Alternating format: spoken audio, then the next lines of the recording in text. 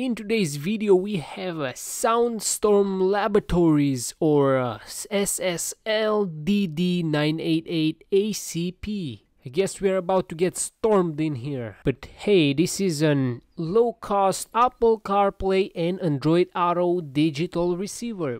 And this is a double DIN unit and has no physical buttons. Everything is touchscreen or touch button.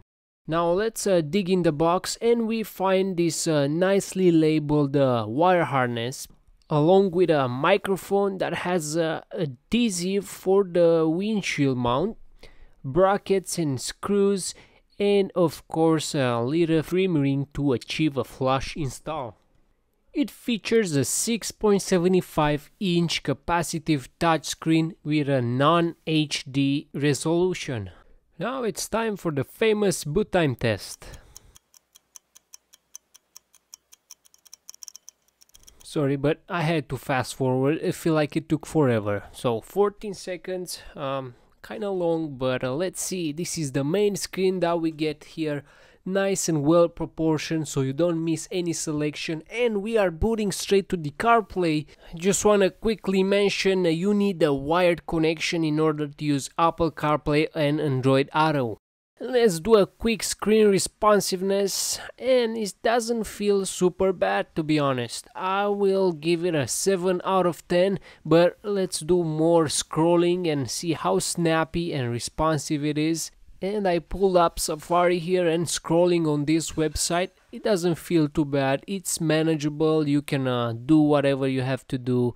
It doesn't really lag behind and it's fine. I would I would uh, stay with 7 out of 10 for now. By the way, you're probably wondering how I got so many apps on uh, Apple CarPlay. Well, I made a video about it. Uh, I will put a link in the descriptions and uh, you can uh, watch it from there. Now while you're using CarPlay, if you press the microphone button, it's gonna bring up Siri or if you're using Android Auto, it's gonna bring the Google Assistant. Also, if you hold the home button, it's gonna put it in a kind of screensaver mode and if you tap it, will turn the screen off tap it back again and it comes back on and there you are you can uh, switch easily between those screens Moving on on the built-in uh, apps, this is the tuner or radio screen. It has a nice and simple uh, interface, very pleasant, so I really like it the way they uh, designed this. You can also switch between FM, AM, and uh, you have a bunch of settings here for the radio. Basic settings, nothing uh, fancy there. So we're moving on to the Bluetooth. Uh, you can use this feature as well if you don't want to use any wired connection for the Apple CarPlay or Android Auto. And also this is the equalizer. You have a shortcut right there on the main screen. Let's do a quick walkthrough of the receiver's settings and we are on general tab. Here we have basic options but one feature that i want to point out is power off delay. Now depending of the vehicle some will turn off the receivers while cranking up but setting a delay will fix that issue. That's why power off delay is for Switching to the audio section, here we have simple and basic settings that we can use and for the subwoofer we got three options to turn it on and off. Also we got four frequencies for the subwoofer filter and 14 subwoofer levels. That is pretty cool. Now there is this interesting thing called loudness. This is basically a sound effect that will boost the low and high frequencies then you have internal amp. Well, this is an option to turn off the amplifier that is built in the receiver. So if you're using an external amplifier, it's a good idea to turn it off. That way you don't get any other uh, unwanted noises.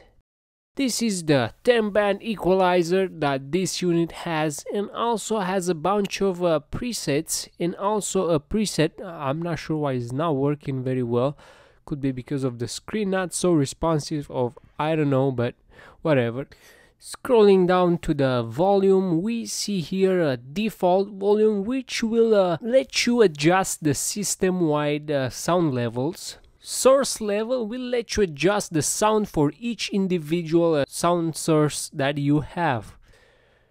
Switching to the display tab, we have illumination control that will uh, dim your uh, display brightness when uh, the headlights are on. And there is a gamma day and night adjustment for the display you can play with those to get the best image quality or uh, colors. Now uh, the dimmer even at the lowest setting uh, i find it too bright uh, at night driving on a very dark road. That can be bothersome for some people and it's good to know. In the ui section we got the wallpapers. With three selection of wallpapers i don't think there is uh, any way you can add your own. But if you find a way to add your own wallpaper just let me know in the comments now what's cool is that uh, it supports front and rear camera and those can be turned off and on. It depends of the preference and the installation. And also it comes with this parking guideline adjustment. So you can adjust it according to your uh, camera angle now you may wondering what rear view delay does. Well, it will prevent the backup camera to be triggered when you quickly shift from parking to drive. This is a cool small detail that gives a smooth experience to the user. So overall, it's a cool and simple receiver with not too many features, but this is what you get for the price. I wish it had the ability to change the colors of the buttons and a lower dimmer setting for the night driving. This is it for this video. I hope you enjoyed. If you like this kind of stuff, uh, subscribe for more similar content and click like for this video. I will see you next time.